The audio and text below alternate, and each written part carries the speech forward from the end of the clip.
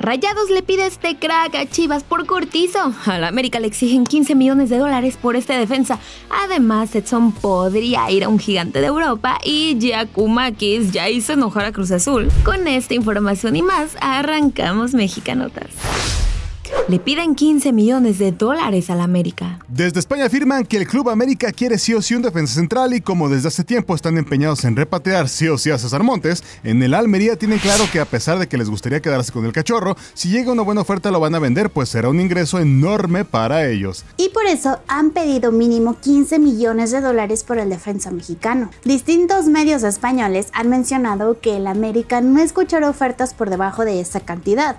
Quiere recuperar la inversión que hicieron con el jugador y además llevarse una ganancia. Hay que recordar que también los rumores que ponen a Montes en el fútbol de Rusia han crecido. Incluso se dice que el mismo César ha estado hablando con Luis Chávez para saber si le conviene ir al fútbol ruso o en una de esas mejor quedarse en la segunda división de España. Porque hay que decirlo, gambeteros, Almería está dispuesto a vender, pero César Montes no quiere dejar el fútbol de Europa. Y entre que le piden mucho dinero a la América, como que el cachorro no se quiere mover de allá, se ve muy difícil que las águilas puedan quedarse con el fichaje del exfutbolista de Rayados. Edson podría ir a gigante de Europa. Lo que ha mostrado el machín con el West Ham en la Premier League ha dejado claro que sin duda alguna está para grandes cosas y no es un jugador del montón. Es por eso que el último reporte del periodista Fabricio Romano ha dejado claro que para los equipos grandes de Europa, el mexicano es un futbolista por lo menos interesante. Y es que los busca el Manchester United. Según Romano, el United está considerando fuertemente ir por el capitán de la selección mexicana, pues Casemiro es casi seguro que se vaya del equipo. Pero sí deja claro que será una transferencia por demás complicada para el Manchester, ya que el West Ham no quiere dejar ir a Edson. Es un jugador muy importante el los planes de Lopetegui para la próxima temporada. En este mismo mercado ha vuelto a sonar la opción del Borussia Dortmund como uno de sus posibles destinos y en el pasado hasta el Bayern Múnich se interesó en el machín. Aunque es casi seguro que Edson se quede en el West Ham, el hecho de que su nombre suene para llegar a grandes clubes de Europa es una gran noticia para el fútbol mexicano. Orbelín Pineda, Rayados. Desde hace tiempo Rayados es uno de los máximos protagonistas del mercado de fichajes en el fútbol mexicano, así que este verano seguirá haciéndolo. Ya se trajeron a Oliver Torres y ahora suena con mucha fuerza nada más y nada menos que Orbelín Pineda. El mismo Tato Noriega, en entrevista con el periodista Diego Armando Medina, afirmó que sí está dentro de las posibilidades del equipo, pero de momento no hay nada avanzado. Es, uno de los nombres que, se han manejado y por supuesto que Orbelín es súper atractivo, es súper interesante, eh, si pudiera ser una de las alternativas dentro de otras. Pero ¿de qué dependería la llegada de Orbelín a Rayados?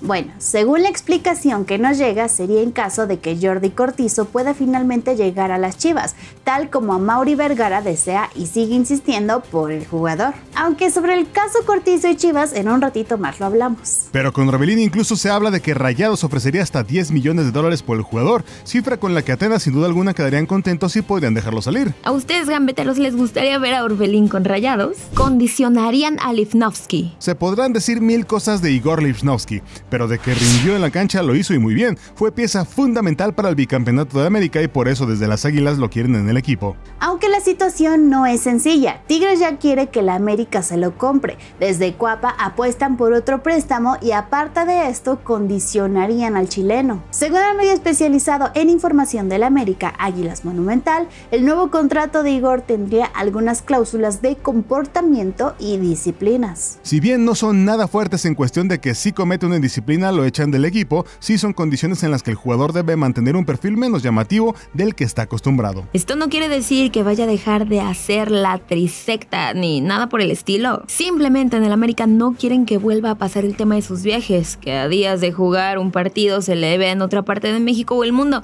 así como tampoco en fiestas muy seguido. Básicamente que mantenga perfil bajo, eso es lo que quieren en las águilas.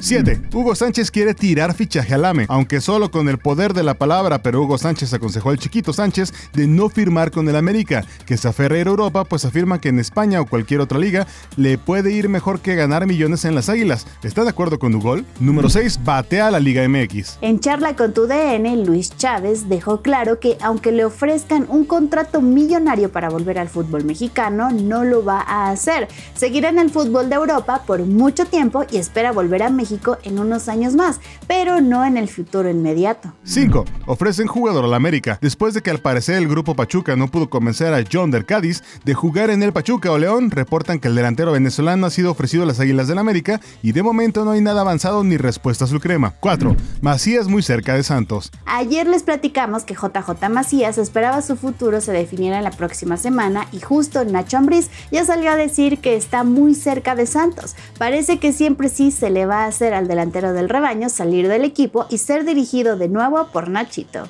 3. Atlas cierra su chequera. A pesar del terrible torneo que dieron los rojinegros del Atlas, ya dieron que no se van a reforzar tan bien que digamos para el próximo torneo. No van a ir por refuerzos caros, irán por refuerzos discretos y a ver cómo les va a los zorros para este torneo que está por comenzar.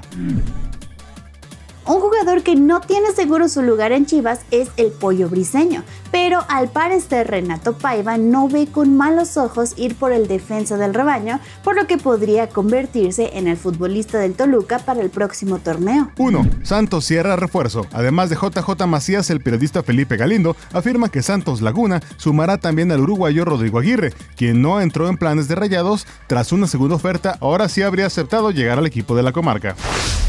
Yakumakis hace enojar a Cruz Azul. El griego de la máquina ya llegó y lo hizo haciendo mucho ruido, no solo con sus declaraciones sobre lo que promete en Cruz Azul, sino también por lo que dijo de la final perdida contra el América. Y es que el nuevo delantero de la máquina, sin pelos en la lengua, al ser cuestionado sobre el penal y la actuación de Cruz Azul en la última final, fue claro. El culpable no fue el árbitro, sino que fue Rotondi. Quizás Rotondi me va a matar, pero creo que el jugador trata de ganar en el penalti. Pero al mismo tiempo hubo contacto, así que no lo sé.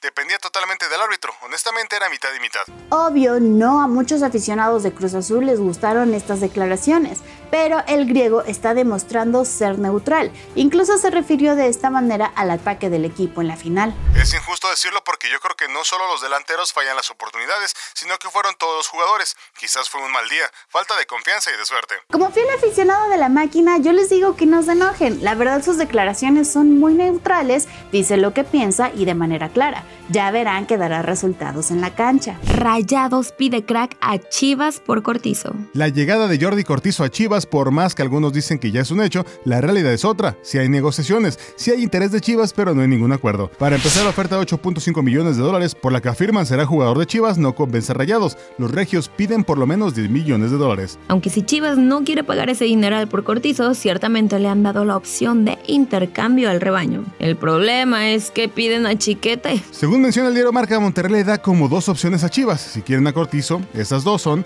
pagar los 10 millones de dólares o un intercambio de jugador, y ellos se quedarían con la mejor defensa que tiene Chivas en la actualidad. No es la primera vez que Rayados va por Chiquete. En su momento han querido comprar al jugador y el rebaño se los ha negado. Incluso han pedido 10 millones de dólares por el jugador, así que por el mismo precio Monterrey es que propone el intercambio. Esto ha hecho que las negociaciones de plano estén estancadas. Pero en Chivas van a seguir insistiendo por Cortizo. Ya veremos si se da el intercambio o sueltan más dinero.